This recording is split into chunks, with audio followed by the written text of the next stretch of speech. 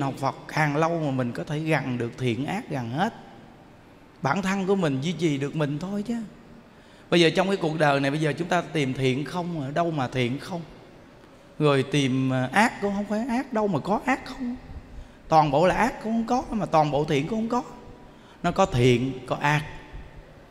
Nên đại lão là tự tình không ngày giảng mà thiện tài đồng tử đi tham học 53 thiện trí thức 53 đây là con số vô lượng đa dạng căn tính có nghĩa là có thiện, có ác nằm bên trong. Nên gặp người thiện coi mình có thiện hay không để học. Gặp người ác coi mình có ác giống như vậy hay không để sửa. Nên cái người học Phật nó không có bị trở ngại. Thì quý vị biết rằng là chùa mình là đa dạng cái lượng người ở đây là quý vị thấy là đông vô cùng. Mà đủ thành phần già có, trẻ có, con trai có, con gái có VD cũng có có hết chưa vậy thì nhiều người thì nhiều tư tưởng, mà nhiều tư tưởng mà mình có thể sống chung được, mình cười, mình vui được thì cả không vấn đề, ha. Thí dụ như mỗi một con người chúng ta cùng học Phật, nhưng mà đi đâu thì mỗi người tự chọn chứ. Học Phật học chứ có khi cũng đi xuống địa ngục đó. Chứ đâu phải ai cũng đi lên cực lạc và thiên đàng hết đâu. Có những người cũng đi xuống dưới địa ngục á. Thì chúng ta mỗi người học Phật tự mình chọn con đường đi của mình mình duy trì cái con đường của mình đang chọn cho nó chuẩn xác là được rồi. Còn người ta muốn chọn đi đâu đó là chuyện của người ta. Người ta bắt hòa với mình nhưng mình hòa được là không giận trách họ để trong tâm. Vậy thì học Phật đơn giản rồi đó. Nó còn chỉ có một câu Phật hiệu thôi. Nên quý vị biết rằng là lo cho chúng đông gì mà tại sao mỗi ngày những đức vẫn cười nhiều? Mà mấy ngày nay là những đức bị bệnh đó nghe. Ừ, bị ho hen á tại vì cái chặn lễ viết bồ tát quán thế âm xong cổ những đức bị đau luôn. Lại ngàn năm trăm danh hiệu hát quá trời. Hát muốn lộn mèo luôn. Mà mình dùng sức cũng quá đáng, hiểu không? Tuy rằng là thân giả, nhưng mình dùng nó cũng hơi quá đáng. Dùng nó dữ dằn quá. Rồi thêm ba ngày đó, những đức chia sẻ mười mấy buổi thuyết pháp. Thêm lại một ngàn năm trăm danh hiệu nữa, nên dùng sức quá đáng. Thêm cái nước micro nó hút hơi quý vị làm mình cũng mệt nên từ nơi đó mà quý vị thấy rằng là một con người cơ thể không được khỏe, nhưng mà trạng thái tự nhiên. Có thể hồi tối, ngồi đó, hơi bị ho, hơi bị nóng lạnh gì mà ngồi với quý vị mấy tiếng đồng hồ mà chịu nguyên một cái dàn âm thanh gì ý những đức muốn nói cho quý vị nghe là con người mình chỉ cần niệm niệm nghĩ gì người ta cho người ta vui là mình cảm thấy vui. Chỉ cần có cái niệm niệm gì người ta là bản thân mình sẽ làm được tất cả những việc gì mình muốn làm trong cuộc đời này liền quý vị phải nhớ cái câu là mình vì thiên hạ thiên hạ vì mình à. Nên khi người ta đi đến chùa mình, cái điều mà những đức suy nghĩ cho người ta là muốn người ta được vui. Cái điều này là cái điều suy nghĩ của những đức thường suy nghĩ là mong cho người ta vui thôi. Miễn làm sao người ta đi đến đây một lần, người ta cảm giác người ta được vui. Có thêm một nụ cười trong cuộc đời. Thêm nụ cười. Vậy thôi. Chỉ có nghĩ như vậy thôi thì tức khắc là những việc mình muốn làm trong cuộc đời này mình sẽ làm được. Quý vị phải nhớ rằng tất cả những việc trong cuộc đời này chúng ta làm được là phải có duyên. Mà cái duyên nó xuất phát từ cái gương mặt tươi vui. Gặp người biết chào hỏi miệng nở nụ cười. Cái duyên này nó đặc biệt lắm nha. Vừa gặp người ta một cái mà mà biết cười một cái người tu thì gặp một cái cười một cái ai với đạo phật. Là thấy nó đẹp rồi đó. Còn người thế gian gặp một cái chào một tiếng. À, chào cô chào chú. Như miền tây đó không? Ví dụ như ở miền tây thì người ta chạy xe qua lại, có khi hồi xưa hồi xưa còn nhỏ nhỏ như đức thấy, rõ ràng. Ví dụ như bắt hai bắt ba thì chạy xe qua lại nhà mình, cái đầu đi ngang, anh hai, khỏe không anh? Một tiếng vậy thôi à. còn nếu như mà đi ngang mà không hỏi nói à anh lúc này giàu, ha, anh quên tôi mất tiêu rồi, phải không? Thấy không? Người miền tây mình rõ ràng, gặp người chào một tiếng, dù con gái xấu cỡ nào xấu, nhưng gặp người chào một cái là người ta khen con của anh ba nhỏ nó không được đẹp, nhưng mà nhỏ vui. Gặp người biết chào hỏi, nhỏ này gì được. Thấy không? Nhưng mà cái nhỏ kia, con của anh tư đẹp vô cùng mà nó gặp người ta cái là, nó gặp cái là làm này. nó gặp cái là nó nó sụ mặt. Vậy đó mà người ta về nhà, người ta nói, con của anh tư, con nhỏ gái nó đẹp mà nhỏ nó có duyên. Nhỏ không duyên dùng, chứ gặp mình cái là sụ mặt xuống. Mình đi đến nhà chơi với ba nó mà nó gặp nó không hỏi một tiếng. Nhỏ này thấy không có được. Thấy không? Cái đó là cái học tập của người xưa bình thường thôi. Chưa nói học phật gì đó nghe mà cái nhân sinh sống thôi. Nhưng mà tại sao nhiều người học phật chúng ta học càng lâu thì chúng ta trở thành một con người cứng ngắc nó khô cằn kỳ cục. Học phật á, càng học thì phải càng ước ác. Càng học phật chừng nào thì phải càng đem phật pháp để áp dụng nhân sinh thì mới đúng. Càng học phật lâu chừng nào thì con người nó phải càng theo cái xã hội phát triển. Chứ không thể nào nó lùi hoàn toàn ở phía sau. Xã hội được nếu mình lùi hoàn toàn ở phía sau của xã hội phát triển vậy thì cái người trí thức bây giờ người ta sẽ nhìn nhận Phật pháp không có gì đặc biệt. Tại vì Phật pháp nó xưa, nó cũ rít à ta không tiếp nhận Phật pháp. Riêng bản thân chúng ta là có tâm cầu giải thoát. Còn riêng cái xã hội phát triển thì chúng ta phải học Phật làm sao để mình đem cái Phật pháp này nó áp dụng vào một xã hội phát triển của thời đại bây giờ. Người ta chạy theo cái dòng sống của cuộc đời, người ta mỗi ngày bận tâm nặng nề lo âu đủ chuyện còn mình học Phật mỗi ngày có nụ cười, mình vui vô cùng. Người ta vừa nhìn mình cái ta nói, ô, công nhận người học Phật này vui thiệt. Mình mỗi ngày giàu có nhiều tiền nhưng mà tại sao cứ lo âu nặng nề? Cứ uống thuốc an thần, uống cà phê cho tỉnh táo, còn người này lúc nào cũng tỉnh. Thì tự nhiên người ta nhìn vậy người ta lại đến người ta tìm mình ta hỏi, ô, học Phật hay quá, học Phật tuyệt vời quá, dạy tôi nhất thì lúc đó mình dạy người ta. Là ngay chỗ mình vui, người ta hỏi, mình dạy người ta. Còn bây giờ mình siêng năng mình tu tu quá trời tu tu ngày, tu đêm tu xong rồi, bữa sau lại bắt đầu là bà nào bà nấy, ông nào ông nấy gặp nhau gì nè. Vậy là vợ. Ủa, anh ba, anh tư, bữa nay sao mà mấy anh chị sao hôm nay thấy mệt quá vậy? Trời ơi tu ngày đêm muốn chết luôn. Tôi nghỉ ngơi mấy ngày mà được. Hai ngày hai đêm, một ngày một đêm nay niệm phật quá trời niệm. Đi kinh hành, đi hôm nay muốn sụi bại chứ.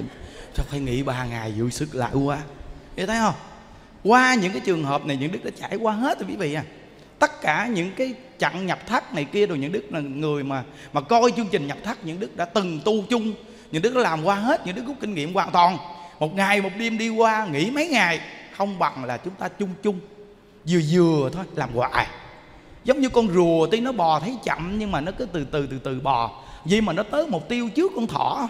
Con thỏ chạy lăn xăng, vậy mà cứ nghỉ ngơi uống cà phê. Cuối cùng vậy mà sao con rùa? Thấy không? Nên Phật pháp á, phải biết cách dụng công mà tu. Không phải nhiều mà hay mà cũng phải dở mà hay.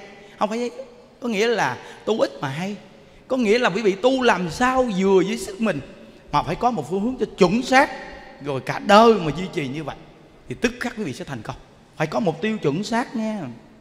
Đó mục tiêu chuẩn xác này là quý vị biết rằng là từ khi những đức gặp Phật pháp, không phải những đức có mục tiêu gì, mà những đức chỉ nghe đúng một vị thầy nói một câu như vậy thôi mà những đức nhắm mục tiêu luôn này đúng một câu một.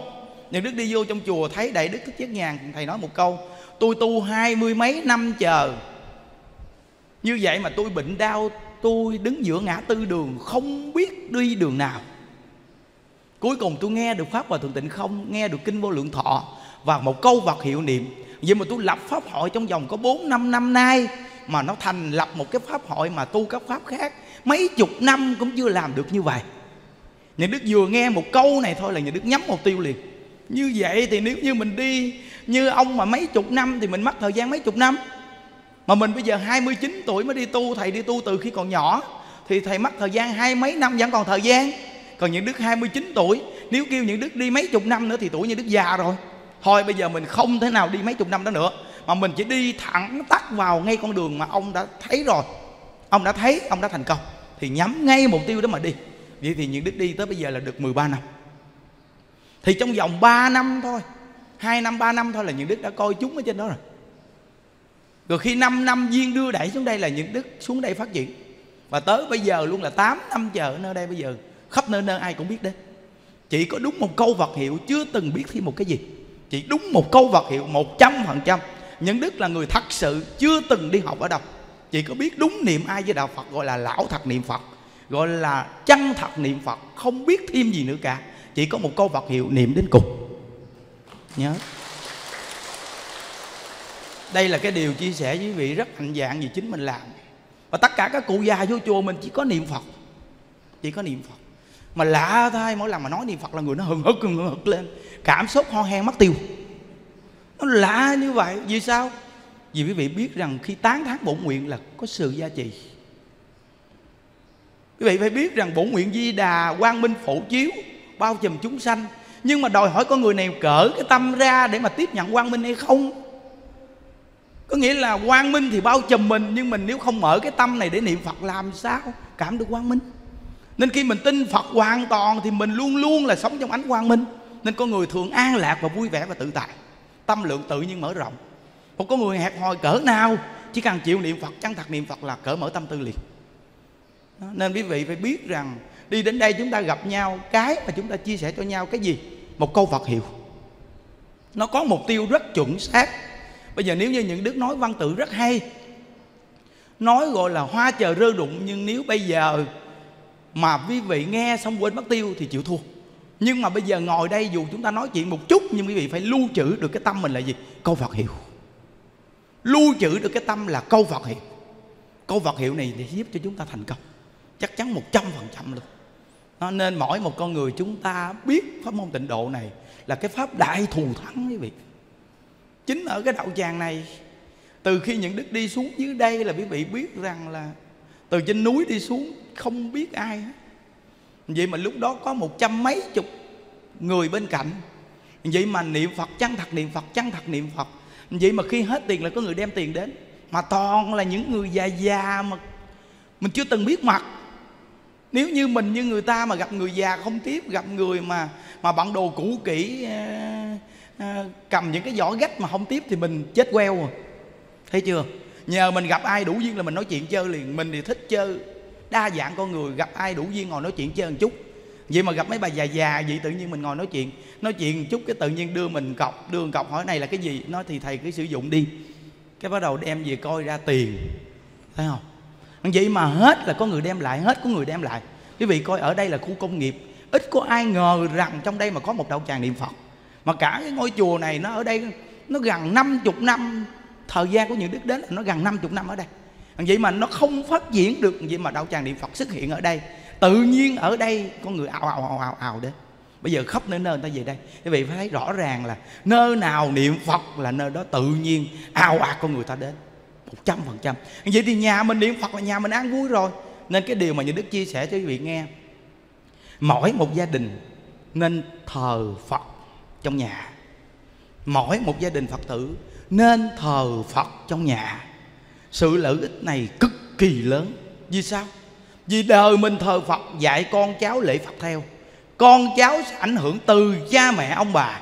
Mình thắp nhang, dạy con cháu thắp nhang. Đời mình qua đi, con cháu tiếp tục thắp nhang cho phật. Con cháu niệm phật lễ phật. Đây là món tài sản lớn nhất mà ông bà cha mẹ để lại cho con cháu. Quan trọng nhất luôn gia đình phải thờ phật rồi có một thời khóa công phu, làm sao hai thời công phu sáng tối duy trì được nghiêm túc đàng hoàng? Và những đức nói rằng, bây giờ chúng ta tu tịnh độ một câu ai với Phật niệm đến cùng bổ túc hoài, để gây dựng nhiều người tu tịnh độ bỏ cuộc lắm quý vị. Vài năm là bỏ cuộc, cái tâm ban đầu mạnh dữ lắm, nhưng tu vài năm là bỏ cuộc liền. Vì sao? Vì không được sự bổ túc. Và rất nhiều người niệm phật bỏ cuộc đều do ngay một cái tâm là niệm phật vô vị. Đều đúng một cái chỗ là niệm phật không có hương vị ừ. quý vị biết vì sao niệm phật không có hương vị không? Vì quý vị chưa phải đặt lòng tin hoàn toàn vào câu Phật hiệu nên niệm Phật không có ăn, không có hương vị gì hết. Chỉ cần quý vị gặp một hay chặn kinh thiên động địa trong cuộc đời mình mà vẫn niệm Phật, chỉ cần vượt qua rồi quý vị sẽ niệm Phật có hương vị liền. Còn nếu như một hay chặn khảo đảo te tua mà bỏ câu Phật hiệu đi tìm cái khác vậy thì niệm Phật không bao giờ có hương vị một trăm phần trăm luôn. Chính những đức ở trong chùa không nhưng cũng gặp những cái chặn kinh khủng lắm. Vẫn liêu mạng niệm Phật. Niệm xong vượt qua rồi mới biết, ô, thì ra là câu Phật hiệu là báo vật vô giá. Từ đó thì niệm Phật có hương vị. Thấy không? Nên cái người niệm Phật mà không có hương vị là do gì? Chưa phải tin câu Phật hiệu hoàn toàn. Chưa phải tin câu Phật hiệu hoàn toàn. Nên qua cái việc mà hòa thượng tịnh không ngày chết đi, ngày mất, ngày giảng sanh đó nghe. Quý vị nhớ là một cái hình thức để cho chúng ta từ hôm nay buông sạch tất cả những cái hình thức luôn. Cỡ như đại lão hòa thượng tịnh không thì xin thưa quý vị nghe, muốn đứng ra đi, muốn ngồi ra đi, muốn sao đi cũng được hết. Quý vị cứ xem qua những cái hành động của ngài khi còn sống, thì quý vị sẽ biết một con người này không phải là một con người tầm thường đến thế gian này đâu. Người tầm thường không có ai mà làm được điều này cả.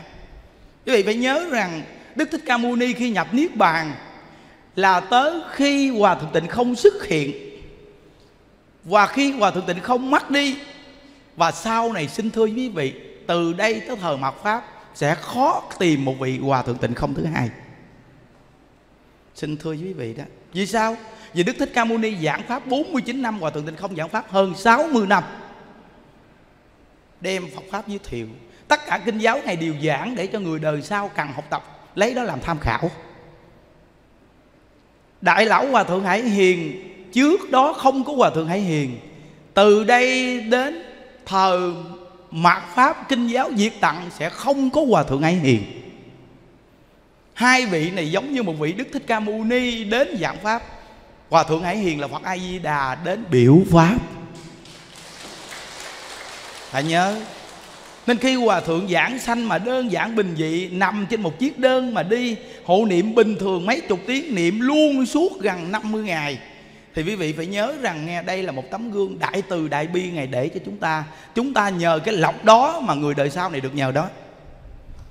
Và đánh mất sạch luôn cái tâm mà gọi là hình thức gì? Mềm rồi cứng rồi, hình tướng này, hình tướng kia, dẹp luôn. Có nghĩa là hòa thượng tịnh không ngày dẹp luôn cho chúng ta những cái điều đó luôn nếu như ngài đưa lên một tiêu chuẩn gì đó cho quý vị, thì chắc chắn rằng quý vị về sau sẽ nói rằng hòa thượng làm như vậy, giảng sanh như vậy, quý vị phải lấy đó làm tiêu chuẩn để làm theo, thì người đời sau này tiêu sạch. Nên hòa thượng tịnh không ngày quá từ bi rồi. Cả đời của ngài về hình thức thì nổi bật khắp nơi trên thế giới. Nhưng khi ra đi là một con người cực kỳ đi đơn giản thổi tướng cũng không cần đẹp gì để cho người đời sau này dẹp luôn đi cái tâm, cái chuyện giảng sanh về cực lạc. Mà thổi tướng này, thổi tướng kia, thổi tướng nọ. Cái chuyện giảng sanh là chỉ có cái người niệm phật biết mình giảng sanh, phật ai đã đến rước và họ biết phật ai đã rước họ. Hai người này biết là người giảng sanh và phật a di đà. Còn chúng ta là không biết. Còn mình chân thật niệm phật, chừng nào chúng ta giảng sanh thì chúng ta sẽ biết. Nếu như lòng tin này chân thật tin thì quý vị cứ chân thật niệm phật đi đó, nên quý vị biết rằng những đức ngồi suy nghĩ kỹ dữ lắm, những đức mới thấy đúng là đại lão hòa thượng tịnh không quá từ bi, quá từ bi. Nên từ hôm nay chúng ta mà nói đi hộ niệm mềm cứng không còn quan trọng gì nữa cả. Đừng có suy nghĩ mềm cứng nữa. Cứ chân thật hộ niệm niệm cho người ta đi, giúp cho người ta nhiệt tình đi. Đừng có suy nghĩ cái chuyện mềm cứng nữa. Dẹp đi dẹp đi cái chuyện mềm cứng đi từ hôm nay tất cả các cụ trong chùa mình, những đứa cũng không làm những công đoạn mà các cụ này kia nữa, các cụ biết ngày giờ gì nữa, nghỉ luôn. Vì sao? Qua tư tưởng của hòa thượng tịnh không thì không làm nữa. Chỉ có chuyên chức niệm phật, chừng nào quý vị giảng sanh, phật ai đà đến rước, quý vị sẽ biết chuyện quý vị giảng sanh. Mỗi một con người nên chân thật niệm phật đi, cầu sanh cực lạc đi. Tiêu chuẩn niệm phật giảng sanh không có tiêu chuẩn gì cả. Chỉ có tính nguyện niệm phật thì phật tiếp dẫn giảng sanh. Nhớ nên đó là những công đoạn mà khi quý vị về đây từ ờ, ngoài bắc vô rồi ở miền tây rồi thành phố ờ, đi đến đây chúng ta có một đoạn chia sẻ ngắn. Cái buổi này quý vị về có lại. Nó cũng có nhiều tư tưởng đó quý vị. Nhưng nhớ là người tu hành càng tu lâu càng đơn giản nghe. Càng tu lâu càng bình dị. À, buồn ai thì niệm phật thì buông ra. Càng buông càng sớm càng tốt. À, buồn người những vĩ vãng khổ đau thì giống như à, À, cầm sợi dây buộc ờ, vô cục đá rồi lấy sợi dây buộc vô cái mông rồi đi đâu ờ, kéo theo. Hiểu không? Kéo kéo cục đá theo hiểu không? Thôi bây giờ chúng ta người viết niệm phật rồi mở sợi dây ra.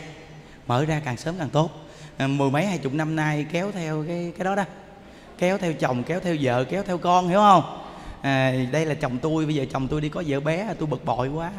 Đi đâu cũng kéo chồng theo nghe tin chồng cái này nghe tin vợ cái này thì bắt đầu là tại kéo theo hoài nên phiền não chết được đúng không? Nên hôm nay biết Phật pháp rồi nghe mở ra. Mở cái sợi dây đi sau lưng của mình mà nó cục cục đá gịch theo đó. Mở ra.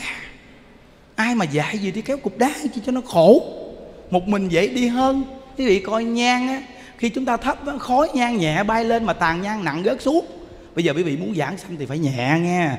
Đừng có hờn trách đừng có buồn giận đừng có nói người này gì người kia người khác để nặng nề trong tâm. Mình chỉ là người giải thích phân tích cho người ta nghe thôi chứ đừng có buồn người ta để trong tâm. Nó càng tu lâu càng đơn giản. Mấy đứa nít này niệm phật này, cũng lợi ích nữa nè. Con nít niệm phật cũng thông minh. Đẹp dai như vậy mà niệm phật thì sao này? Quá tuyệt. Xấu như những đức mà niệm phật còn có duyên.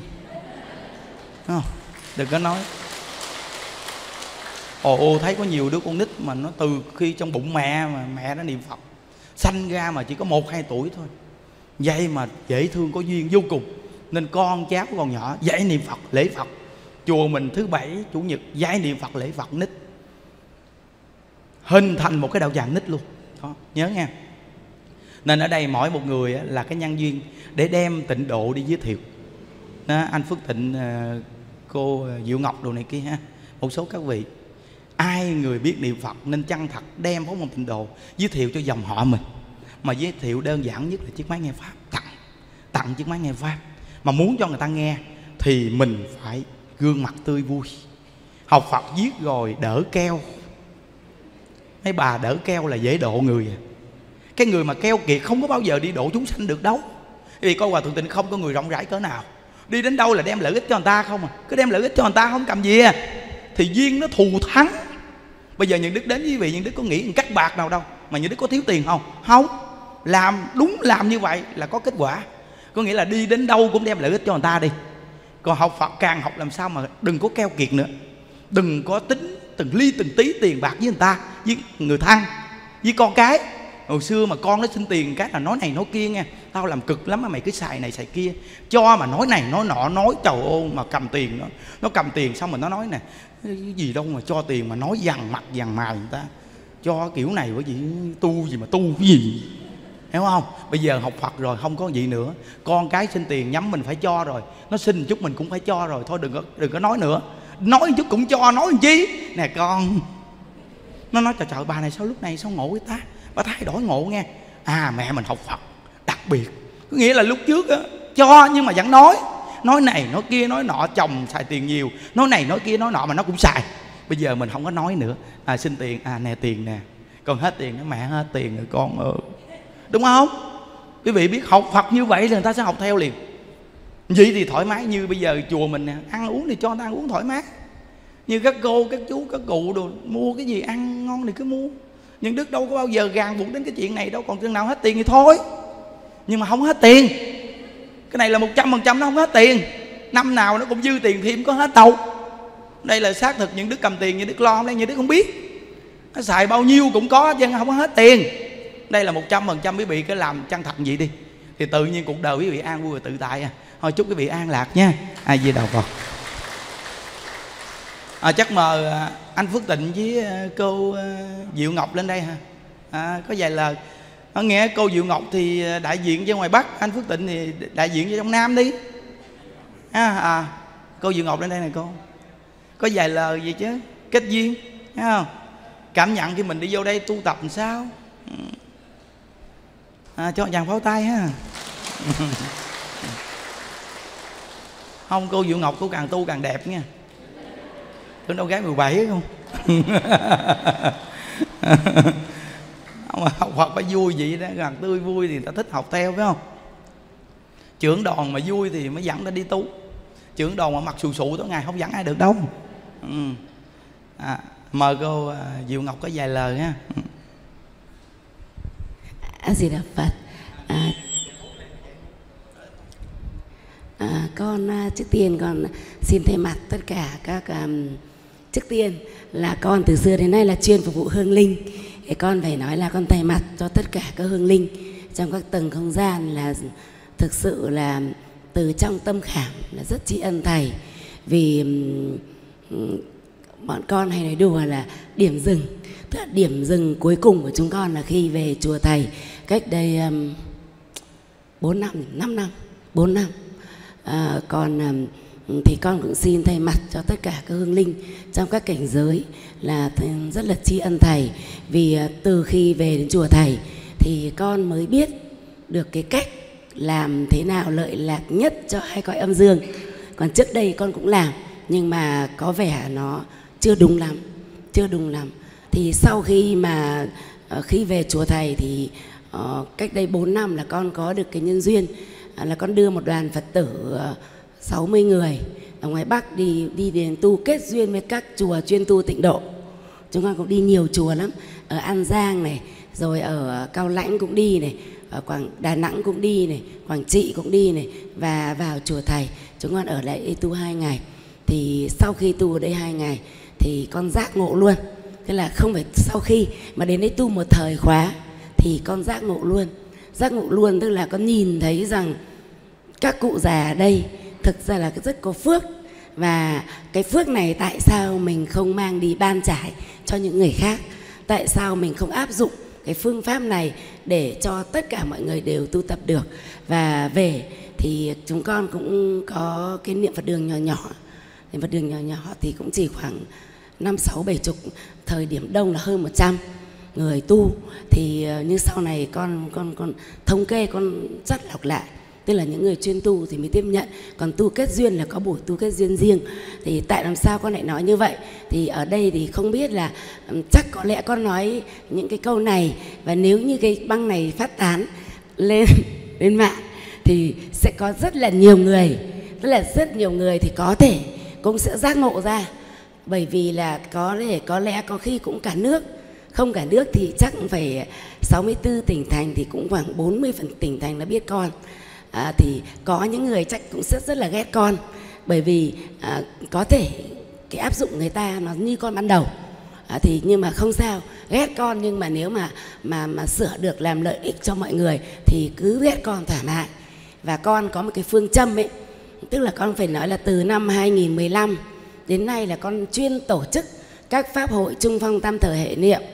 Nhiều là mười mấy nghìn người ít thì năm bảy nghìn người vài nghìn người cũng có tức là pháp hội của con tổ chức ít nhất thì phải nghìn người trở lên và cũng đã làm mấy năm liền cho các anh linh liệt sĩ ở thành cổ quảng trị mà do các bác của chủ tịch hội cựu chiến binh mời.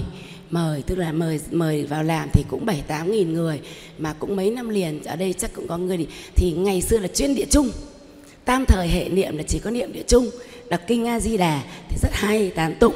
Nhưng mà sau khi mà um, qua một quá trình dài rất là lâu con làm nhiều lắm rồi. Con chẳng nhớ là con làm bao làm bao nhiêu pháp hội trung phong. Mà trung phong này là không phải là là ai làm mà chúng con. Tức là một nhóm con này chị gái con này tức là những người thân của nhà con và những bạn bè là dành mỗi năm dành một khoản tiền. Tức là phát tâm một khoản tiền để làm các pháp hội đấy là tiêu chí đầu tiên là để trợ giúp các anh linh liệt sĩ và các thai nhi là những người mà mà không có được chăm chút kỹ càng bởi gia đình. Bởi vì có những anh liệt sĩ là còn còn còn không biết nằm ở đâu, ở hang núi rồi ở dưới vùi sâu dưới lòng đất ở thành cổ quảng trị là gọi là cái cối xay thịt là như vậy. Thì là sau đó thì đến phổ độ là tất cả. Ai đi cũng được, ai dự pháp hội cũng được. Chưa bao giờ con kêu gọi mọi người, yêu cầu mọi người đóng góp bất kỳ bằng hình thức nào, tùy hỷ công đức. Bởi vì chúng ta có một người chủ, một người chủ to lớn nhất, một người chủ giàu có nhất gọi là siêu giàu. Chúng ta là những rich kid. Rich kid của người siêu giàu đó là gì? Là người chủ của chúng ta là ai? Biết không ạ? Phật a di đà Phật A Di Đà chúng ta là siêu giàu rồi. Thì chúng ta là những con của Phật A Di Đà là những người gì? Những tiểu thư công chúa, những người rich kid, tức là những người ngậm thìa vàng. Chúng ta ngậm thìa vàng, với mãi cái chúng ta ở nhà vàng, đi bằng thứ báo. Cho nên là cái đấy là con nói rằng là tại sao bây giờ con tìm đến chùa thầy là con tìm ra được một cái chân lý. Và chân lý này đọng lại từ bây giờ cho đến cuối cùng. Tức là đến đây không cần phải hình thức nhiều, không cần phải hoành tráng. Pháp hội trung phong tam tờ hệ niệm cũng thế thôi. Và con thì còn lại có một cái khả năng là con, năm 2015 là con nhìn, tự nhìn được và con nói chuyện được hương linh. Hương linh nói con nghe được, nhưng con chặn luôn. Tức là con bảo mình tu giải thoát cơ mà. Mình gặp hương linh cũng chỉ khuyên họ niệm phật thì mà mình chẳng cần gặp mình nói họ cũng nghe được. Tại sao mà phải làm con chặn làm tìm mọi cách con lạy phật con niệm phật để con chặn không gặp hương linh nữa? Thì tu thế nào chúng ta thấy an lạc nhất? Con chúng ta cứ thấy a di đà phật đến như sáng này chúng chúng ta tu rất an lạc đúng không? Chúng ta tức là an lạc chúng ta mới tìm về đây để tu. Nếu không an lạc làm gì có chuyện ở chợ mới tả đi 6 tiếng đồng hồ? À, làm gì có chuyện chúng con đi mấy nghìn km vào đây để tu? Bởi vì chúng ta thấy an lạc và chúng ta đến đây chúng ta cảm thấy nó có một cái năng lượng tích cực năng lượng của một ông chủ ở trên gửi xuống. Ông chủ thì không phân biệt không phân biệt nhưng tuy nhiên là à, như chúng ta ở đời thường vậy thôi người nào làm đúng đúng lý đúng pháp quy chuẩn mà tin thì ông chủ mới đến. Chứ chẳng ông chủ nào đi cho tiền một cái vị hại mình mà chẳng tin mình đi làm cái việc xấu cả. Cho nên chúng ta yên tâm con thì con nghĩ rằng là từ xưa đến nay con vẫn nói là việc niệm phật là việc của chúng ta. Việc buông bỏ là việc của chúng ta. Còn việc tiếp đón và việc cử đồ ăn thức uống là việc của ông chủ của chúng ta là một người siêu giàu là Phật A Di Đà. Chúng ta toàn những người rich kid đấy nha, chúng ta đừng có thấy những người uh, con nhà giàu ở xã hội mà chúng ta bảo họ là những cô bé công tử cô chiêu của ấm rich kid ngậm thìa vàng, chúng ta còn ngậm tỷ cái thìa vàng cơ bởi vì sao? Bởi vì chúng ta là con của một người giàu nhất trong tất cả những người giàu. Nên con hy vọng rằng là cái chia sẻ này của chúng con, ai chúng ta đang đang tu theo các pháp môn khác thì chúng ta, đấy là kinh nghiệm của con.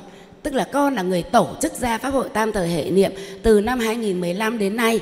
Con tổ chức bao nhiêu pháp hội con cũng không nhớ được nhớ được. Nhưng mà giúp cuối cùng, đúc kết lại là chỉ có niệm Phật đơn giản như thế này, lạy Phật đơn giản như thế này, an nhiên tự tại. Thế từ đó trở đi là từ khi vào chùa thầy về là con bỏ cái ý định làm trung phong tâm thời tức là chỉ có những cái gì dở dang là chọn hứa với các liệt sĩ, hứa mọi người phải làm thôi. Còn bây giờ là chúng con rút về là, tóm lại là chỉ có tập trung tu nguyên chất niệm Phật và lệ Phật cũng vậy. Lệ chậm lệ nhanh tùy từng tuổi. Người nào không lệ được thì ngồi niệm. Và con thấy rất là an lạc mấy năm nay rồi. Đấy, thêm các vị thấy con không? Vào đây mọi người gặp con mà ôi lại gặp lại Diệu Ngọc. Chả thấy buồn bao giờ. Con mà tại sao phải buồn? Người ta đang đi người ta đang đi bán mua niềm vui không được tại sao mình lại phải mua nỗi buồn? Tức là chúng ta bỏ hết đi. Tất cả mọi thứ chúng ta cứ nhìn nó bình đẳng đi. Ví dụ chúng ta nhìn bông hoa màu kia là chúng ta thấy màu tím, nhưng người khác người ta bảo màu đỏ, người khác bảo màu xanh mà ở thì đúng rồi, là màu màu xanh. Đối với người đỏ chúng ta màu xanh, đối với người màu màu đỏ ta bảo màu đỏ, chúng ta hơn thua làm gì? Chúng ta nhìn nó ra màu tím nhưng người ta nhìn ra màu đỏ chúng ta cứ cho là màu đỏ. Vui vẻ hoan hỉ đi. Thế này là con là từ xưa đến nay là thực sự là nhiều năm nay là không giận ai nhá. Không giận một cái ai cả.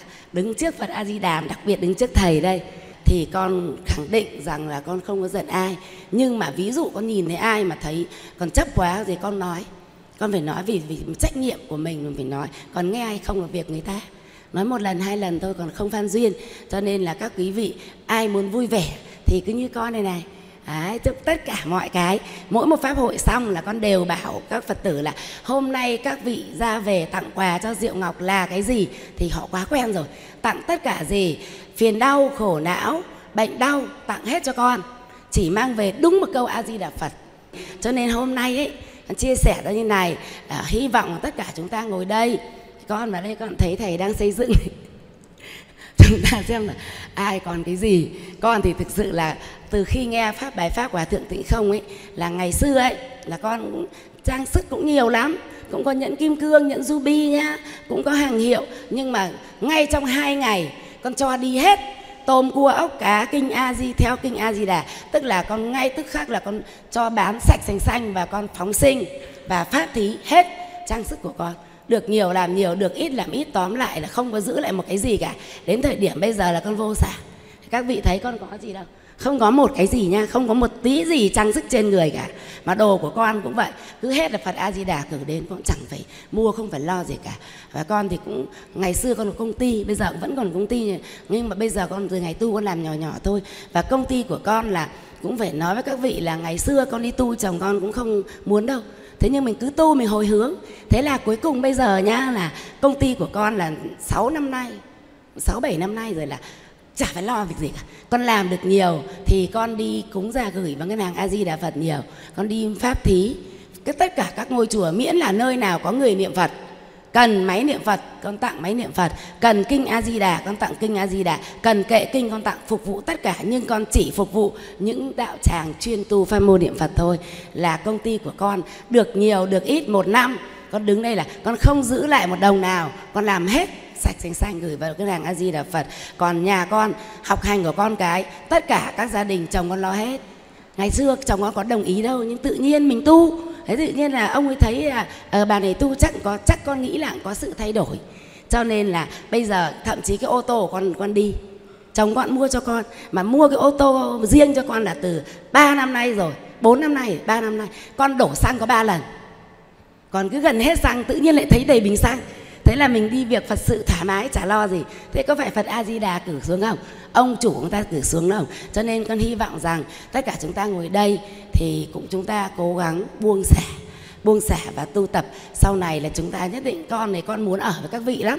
Nhưng mà con muốn ở các vị ở tây phương cực lạc cơ. Con chẳng muốn ở gặp lại các vị ở ta bà đâu. Cho nên là hy vọng rằng chúng ta đã tìm được một cái nơi mà chúng ta tụ tập. Con thì con ước là con được gần ở đây, nhưng mà xa quá còn các vị ở gần đây vài ba trăm cây là cái gì đâu. Tối người ta lên ô tô ngủ sáng lại có mặt đây rồi. Tu một tuần 10 ngày xong ta về. Tiếp năng lượng về chúng tiếp tục chúng ta về chúng ta lấy lấy cái năng lượng chúng ta tu tập cho nó tinh tấn, cho nó không bị giải đãi. Xong là chúng ta cứ tháng nào cũng vậy, chúng ta làm gì mà không có 200 nghìn để đi ô tô? Đúng không? Đến đây thầy nuôi ăn rồi. Còn nếu có miếng đất to, miếng đất nhỏ nào thôi, về gửi ngân hàng a di đà phật đi. Bán đi xong là cúng giàng vào các cái nơi chuyên tu tịnh độ, nơi mà hoàng dương pháp môn tịnh độ này, đấy là một cái đầu tư thông minh nhất đấy. Còn tiếc quá, tiếc là vì gì? Chắc là kiếp trước con tu nó cũng chẳng đến đâu, cho nên là không thằng được làm đại gia. Nếu mà là đại gia thì mình lại làm được nhiều việc hơn thì nhưng mà thôi thì không sao, mình vui vẻ. Bây giờ mình không đại gia nhưng mà mai kia mình về cực lạc, mình là tỷ của tỷ phú. Thôi thì vui vẻ, chúng ta vui vẻ chấp nhận. Thế có ai phiền não không ạ? Sau buổi này thấy chúng ta thấy con vui vẻ này chúng ta có, có thống nhất là chúng ta cùng vui vẻ không? Ai ai không muốn vui vẻ? Tại vì con thấy này, này chúng ta đừng có phiền não gì cả. Gặp ai cũng hoan hỉ vui vẻ. Cho nên con đã thật này này những người bệnh ung thư ấy là họ gặp con họ sướng lắm. Tức là chết đáng nghĩa là mai chết rồi. Vì họ thường những người ung thư giai đoạn cuối là người ta rất là cái tâm lý rất là là là khủng khiếp lắm con thì bạn bè con làm bên viện ca nhiều, là ngày trước đây thôi. Cách đây khoảng 4 năm năm ấy là con hay vào viện ca lắm. Con mượn áo, mà cho em mượn cái áo cái. Áo bác sĩ nhá, con phải bác sĩ đâu. Nhưng mượn áo bác sĩ mới đi vào được. Con mượn áo bác sĩ, thế là cái, mấy anh bạn chị bạn bảo, bỏ tên thôi nhá. Tức là biết rồi, bảo là vẫn như cũ à. Tức là vẫn như cũ là con lên là con cho cái ta cái tràng hạt với cái máy niệm phật. Xong con khuyên người ta niệm phật. Thế là con mà lên viện ca, ngày xưa ca ba chỗ hai bà trưng là đông lắm, xung quanh con như kiểu thần tượng ấy. Ngồi ra bảo con con chia sẻ mà niệm phật đi. Niệm phật thế là phật phù hộ cho là đau bớt đau, bớt khỏi bệnh. Thế là có người bảo là, nhưng mà có rất nhiều người họ lĩnh ngộ được chùm chăn tức là phòng không dám niệm, họ chùm ra họ niệm đấy. Họ chùm ra họ niệm bồ tát quán âm. Vì họ chưa tu, con không có hướng dẫn họ niệm phật a di đà. Họ chùm ra họ niệm bồ tát quán âm mà đã có rất là nhiều người người ta cảm được, cảm nhận được cái màu nhiệm. Và từ đấy trở đi là, nhưng mà mấy năm nay thì con bận, con không vào nữa. Còn trước đây là con chuyên môn. Tức là con bảo, xin phật cho con làm. Ừ, nói dối 5 phút, tức là xong rồi bảo không, con nói dối 20 phút, tức là mình không phải bác sĩ nhưng mình mình coi như mình là người của bệnh viện mặc áo bác sĩ vào để mình chia sẻ thì người ta nghe hơn được một cái bà đâu đâu mặc quần áo nâu vào, người ta sẽ không có có có hoan hỉ, phương tiện, đấy là phương tiện ạ. Cho nên là con hy vọng rằng là chúng ta là những người tu rồi, mà đặc biệt là chúng ta tu pháp môn tịnh độ ấy, là chúng ta đi ra đường, đi đâu cũng vậy, để cho người khác người ta nhìn vào chúng ta còn muốn tu.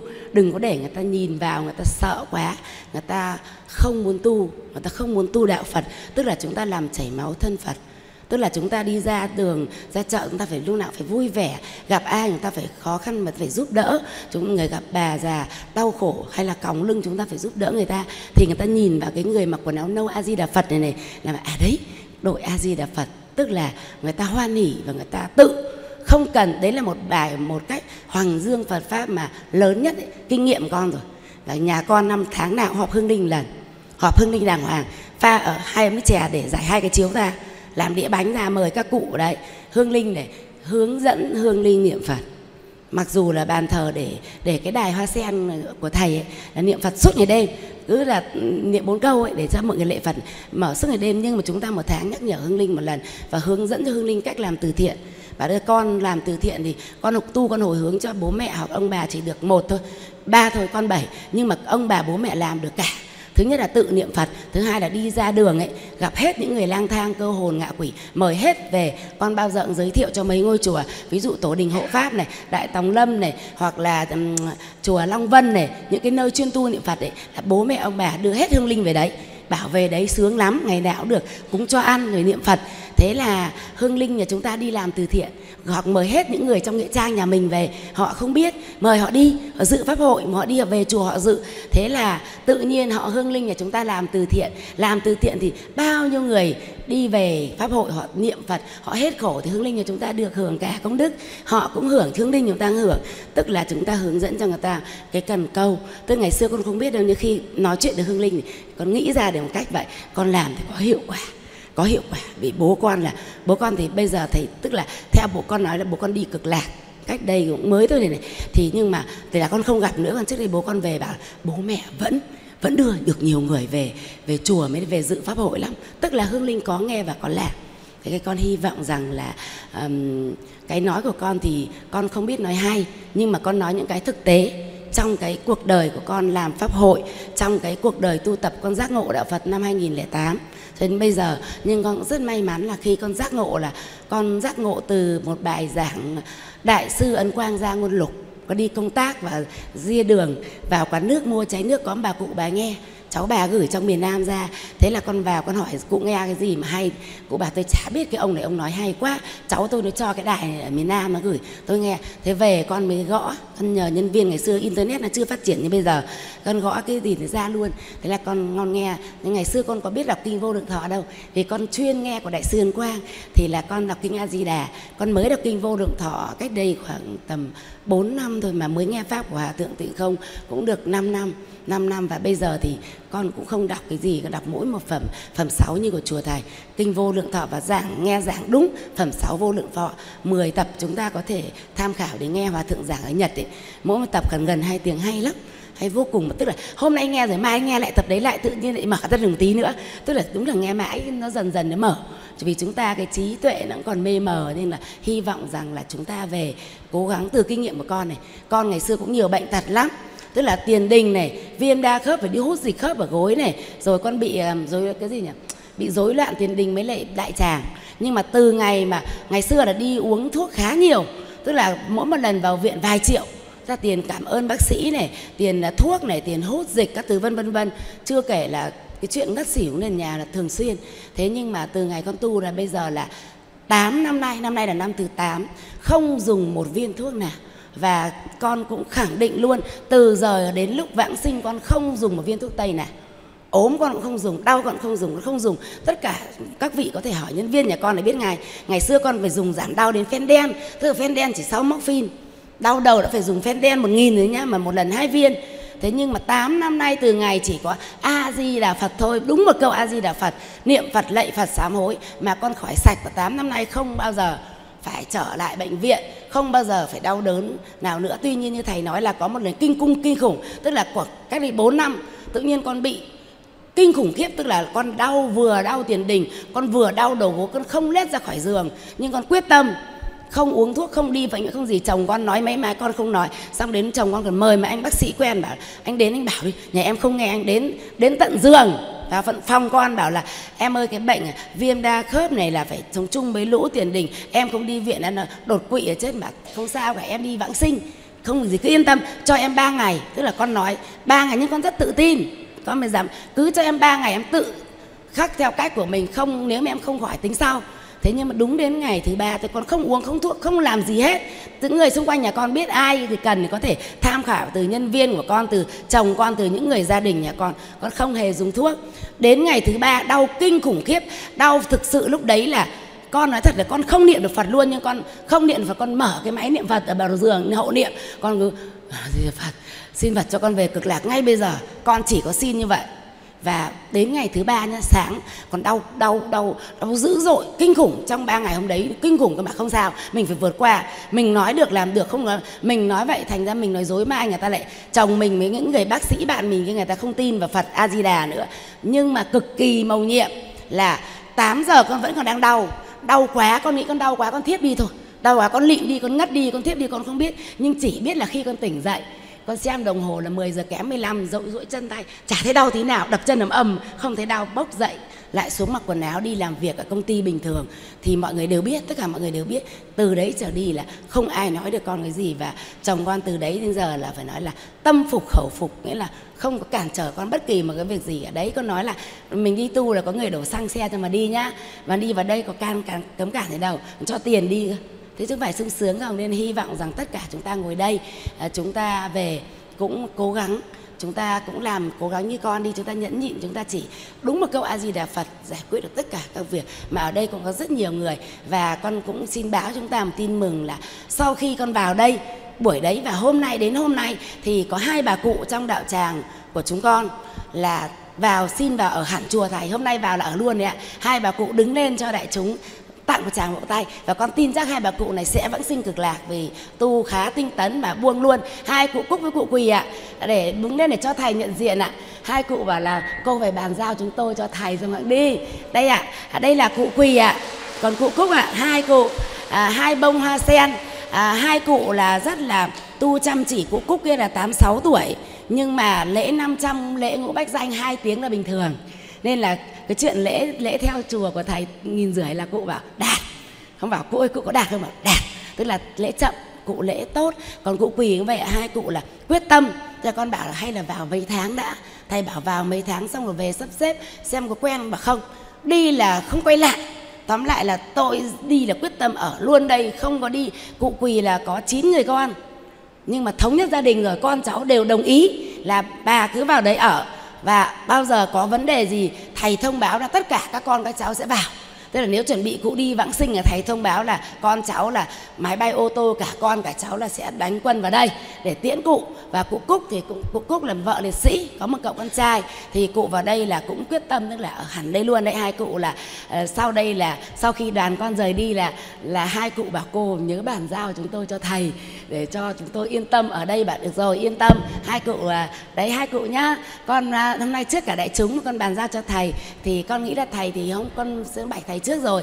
Thầy thì từ bi thầy sẽ tiếp nhận hai cụ và việc tiếp nhận là việc của thầy. Còn việc uh, chăm lo cho các cụ là các cô chú lo rồi. Còn việc của các cụ là làm sao là phải đi về Tây Phương Cực Lạc thượng phẩm thượng sanh rồi quay về tái lai ngay tại chùa hộ pháp này này để làm các vị hộ pháp cho chùa thầy để cho tiễn được nhiều người về Tây Phương Cực Lạc giống mình hơn.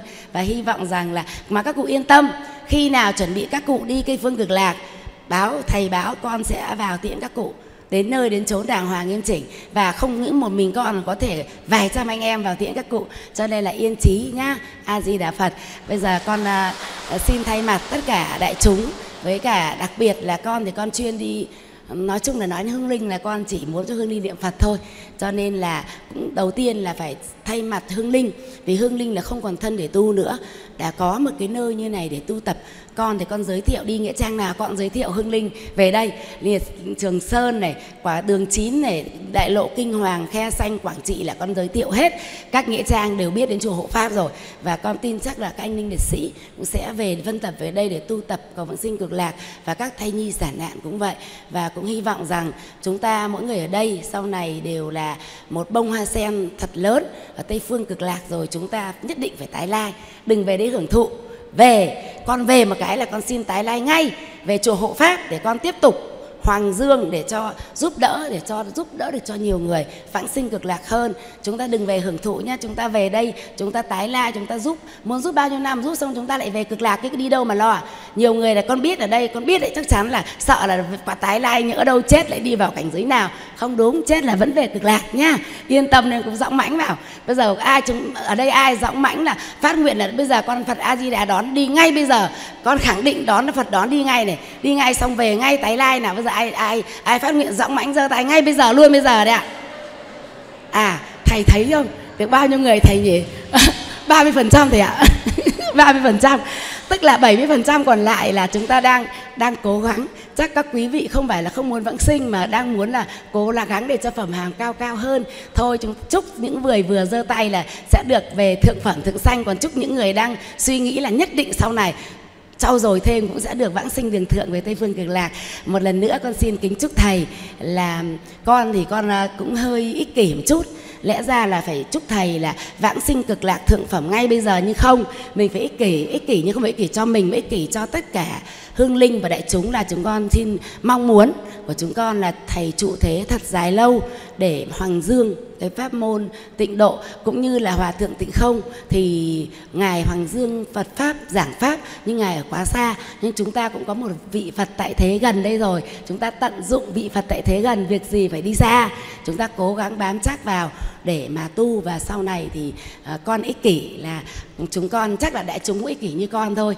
Cũng mong muốn là thầy trụ thế thật là lâu để mà dẫn dắt cho chúng con cũng như các hương linh thực sự là vững tâm để đi về thế giới tây phương cực lạc. Còn bây giờ ai cũng phát nguyện rồi nhưng mà tâm cũng đang hơi lung lay. Chưa chắc lắm thì nhờ là nương vào thầy. Mỗi lần về chùa thầy mỗi lần mà mà chúng con được nghe bài giảng của thầy hoặc gặp thầy thì là nó như một cái cái cái cây bồ đề là, là làm đang lung lay một tí lại phải đứng thẳng ấy lại. Hoặc như kiểu đang hơi ngủ gật phải thẳng lưng ngay lên. Thì để cho chúng con mà bao giờ chúng con về ta bà hết à về tây phương cực lạc à, ngồi tòa sen hết rồi lúc đó thì thầy về thẳng thượng phẩm ở tây phương cực lạc a di đà phật chúc tất cả đại chúng là, chúng ta sớm có hoa sen của mình ở tây phương cực lạc. Chúc tất cả các chư vị hương linh ở chùa hộ pháp và trong các tầng không gian, cũng nhờ cộng hưởng công đức của chúng con tu tập, cộng hưởng công đức của chùa và bằng chính mình nỗ lực nữa, các quý vị cũng nhất định sẽ về tây phương cực lạc. Các quý vị còn về nhanh hơn chúng con đấy ạ. A di đà phật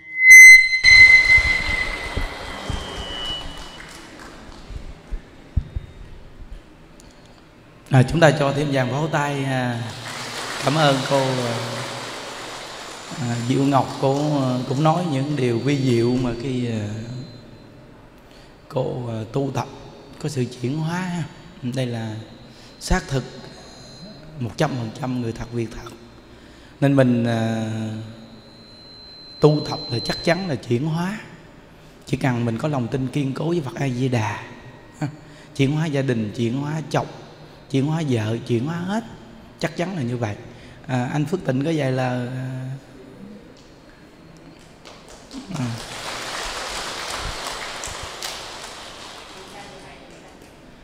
đây là anh Phước Tịnh à, à, những đức thấy anh cũng dễ thương. Ừ, nên là dễ thương hết vị hiền. À, nên là đi đâu cũng được nhiều người mến.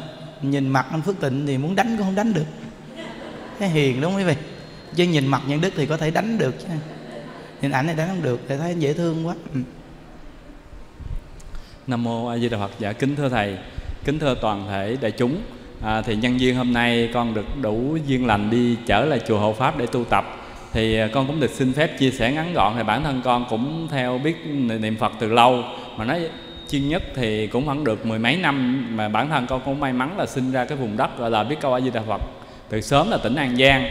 Nhưng mà con chuyên nhất thì được nhờ chú Diệu Âm giới thiệu Hòa Thượng Tịnh Không. Rồi hôm nay là con có được gặp thầy Nhận Đức để nghe pháp của thầy Nhận Đức. Thì con cũng xin kể sơ về quá trình tu tập của con. Thì bản thân mà sau khi biết pháp của Hòa Thượng Tịnh Không thì con ít có đến cái ngôi chùa nào mà để tu lắm. Các ngôi chùa chùa nào mà có thể mời huynh đệ con đến dẫn chúng thì có đến. Nhưng mà đến tu tập thì à, hồi xưa tới giờ thì hầu như là rất là không như là rất là ít. Và các ngôi chùa tịnh độ nổi tiếng ở Việt Nam, bản thân con cũng có đến một hai lần để đi cho biết. Nhưng mà đối với cái chùa hộ pháp này, cái bản thân con rất, có duyên rất là sâu.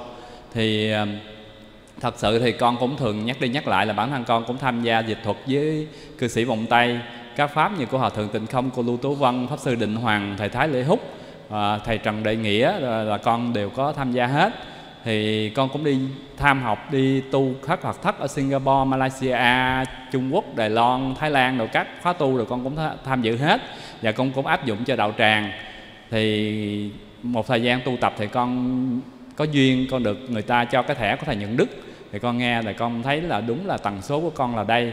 Và con đã hướng dẫn đạo tràng tu tập. Chứ ngày xưa là bà chính là các cô ở đạo tràng con đây mà nói lễ phật mà lễ nửa tiếng hay là các cô thè lưỡi rồi. Cứ mỗi khóa tu là mới đầu là nửa tiếng rồi còn 25 phút và giảm số 20 nhưng mà hiện giờ thì các cô lại lễ tiếng thì các cô cũng bình thường.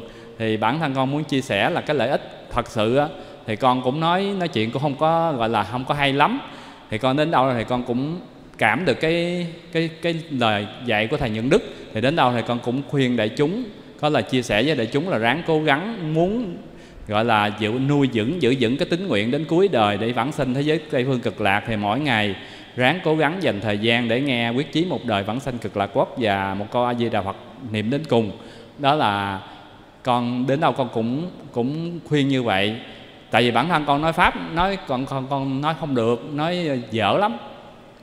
Và thì hôm nay đại chúng có nhân duyên ngồi tại đây, thì con cũng xin nhắc lại, thì hôm nay sau khi mà ờ, cô sa di ờ, cô ờ, tuệ thông mới quảng sinh biết trước ngày giờ thì trước ngày thì con cũng đi tới đâu, con cũng, những cái pháp hội lớn, dự con cũng mở mở để mọi người tăng thêm kính tính tâm và biết ở Việt Nam mình có một vị thầy chuyên nhất, gọi là hàng ngày giảng về tịnh độ, gọi là thôi thúc cái tâm của chúng ta và biết chúng ta niệm Phật sẽ có phần vãng sinh thế giới Tây phương cực lạc. Nên đến đâu con cũng mở và mở đi mở lại cho đạo tràng nghe. Thì con cũng xin nhắc lại, thời gian thì nói chung cũng cũng sắp hết rồi, con xin nhắc lại là trước khi sư cô tệ thông giảng sanh. Thì cô có nói là, nói với các cô chăm của, chăm sóc sức khỏe cho cô tệ thông á, nói các cô ở lại ráng nghe lời thầy nhuận đức dạy, thì mình biết một vị, biết trước ngày giờ ra đi về thế giới tây phương cực lạc là gì, một vị bất thói bồ tát, ha, là một vị đẳng giác bồ tát. Đó là lời của một vị đẳng giác bồ tát nói lại, thì con, có nhân duyên với đại chúng hôm nay thì con xin nhắc lại cái cái lời trong cái cái video clip đó, à, được chiếu trên đó đó thì chúng ta có nhân viên đầy đủ rồi gặp một vị thầy gọi là chuyên nhất. Chuyên nhất về tịnh độ hàng ngày giúp cho chúng ta món ăn tinh thần đó là gì? Là giữ vững tính tâm giữ gọi là giữ được tính tính và nguyện để cuối cuộc đời bản sinh thế giới cực lạc. Đó là như vậy con chỉ có nói ngắn gọn gửi gắm tới đại chúng có duyên ngày hôm nay. Và những ai hữu duyên nghe được những lời này và cố gắng cúi gắng mỗi ngày nghe một câu a di đà phật niệm đến cùng và viết chí một đời bản sinh thế giới cực lạc. Và con cũng nguyện là đi đến đâu, những cái pháp hội có mặt, góp mặt con thì con cố gắng sẽ chia sẻ cách cái pháp tu, cái thứ nhất và cái pháp của thầy nhuận đức. Đó là tâm nguyện của của con tới tới tới ngày vãng sinh thế giới tây phương cực lạc. A di đà phật.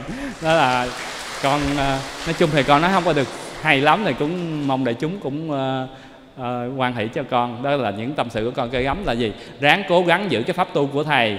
Lại phật rất là có ích. Tại vì bản thân của con tu mười mấy năm rồi khuya tối ngồi dịch pháp cả ngày dẫn chúng mà ngồi không mà lại thì như nãy con nói lại có nửa tiếng là cụ nào cô nói thè cái lưỡi là thôi phước tịnh ơi giảm đi giảm đi. Mà ngày nay thì các cụ sao? Lại tiếng các cụ vẫn tươi rói ha mà cụ nào cô nói khỏe rồi là đau nhất này. Hết rồi phước tịnh này hết đau nhất rồi hết đau nhất rồi. Đó mình thấy lợi, lợi ích quá chừng ha. Rồi con con kính mong đại chúng ráng cố gắng nghe pháp của thầy hai thời và cái pháp tu giữ giữ giữ cái pháp tu của mình cho tới ngày vãng sinh thế giới tây phương cực lạc. À, con cũng xin kính chúc là nhiều sức khỏe để cho nhiều chúng sanh được lợi lạc. Con kính chúc đại chúng là cố gắng nghe pháp thầy để giữ vững tín nguyện để à, khi mãn duyên cõi ta bà. À, chúng ta đều gặp nhau ở liên trì hai hội của đức phật a di đà a di đà phật.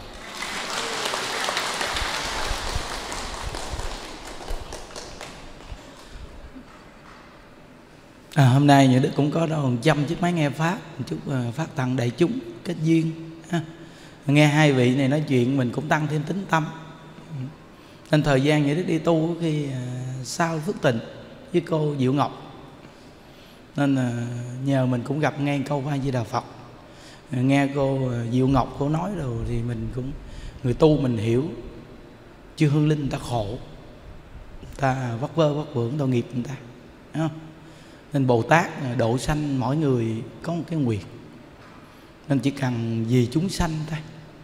Giữ lập trường vững, niệm phật giảng sanh. Thì làm bất cứ việc gì vì chúng sanh là tốt. Nhớ, bồ tát đa dạng để độ sanh. Mọi cách, nếu ai cũng hướng đến con người không thì chưa hướng linh thì sao? Cũng tội nghiệp người ta. Nên từ nơi đó mà chỉ cho người ta cái chỗ để người ta đến. Giống như mình chỉ những người sống đi đến cái nơi đó tu để cầu giải thoát thì giống những đức chủ nhật những đức nói rằng, hương linh đi đến đây, rủ hương linh khác. Đi đến đây chủ nhật để mà người ta hưởng tài thọ thực từng nào những đức cũng cúng nhiều lắm. Và trong tháng 7 này, những đức cúng rất là nhiều mỗi ngày. Kệ đi, tội nghiệp người ta. Cái tâm mình nó còn chấp nhất cái chuyện ăn uống dữ lắm. Nên mình ừ, cúng dường cho người ta thì người ta hưởng cái hương vị một chút, người ta cũng cảm ơn mình. Mà đã là cảm ơn rồi thì vậy nên niệm phật ta mới nghe. Quý vị cứ nghĩ đi, giờ vất vơ vất vưởng nên gọi là cô hồn nó cô đơn quạnh quẻ, nay đầu này, mai đầu kia. Có khi gặp người thân đang vui vẻ, mình thì cô đơn quạnh quẻ, nhất là những hương linh thai nhi, tội nghiệp. Nên từ nơi đó, quý vị nên chân thật phát tâm, thành tâm niệm phật. Từ người sống này siêng năng niệm phật. Mỗi người niệm phật nhiều thì quang minh phổ chiếu chư hương linh được nương nhờ nhiều dữ lắm. Đi đến pháp hội nào, tam thầy hiện niệm, hay là nghĩa trang liệt sĩ, cố gắng niệm phật. Niệm phật thì quang minh phổ chiếu chư hương linh thấy được hương quang minh thì người ta vui. Từ nơi đó mà người ta sẽ hưởng được cái quang minh từ trường an lạc đó đó, thì người ta sẽ cảm ơn mình nhiều lắm. Và ta nương vào bổ nguyện di đà để mà cầu sanh cực lạc. Đức phật a di đà đã có lời nguyện mà. Chúng sanh chỉ cần niệm danh hiệu ngài và chịu niệm danh hiệu ngài và muốn gì thì ngài sẽ rước dù đó là chư hương linh hay là bất cứ một chúng sanh nào ác cỡ nào. Chỉ cần quay đầu chịu niệm phật, thì ngài rước về thế giới tây phương cực lạc nguyện tam bảo gia hộ cho tất cả những người còn sống hay tất cả những người chết chưa siêu thoát đều nghe được pháp môn tịnh độ và phát nguyện niệm phật để chúng ta đi về thế giới cực lạc. A di đà phật. Nguyện à, đem à, công à, đức này hướng về khắp tất cả đệ tử và chúng à, sanh đồng à, sanh à, về tịnh độ.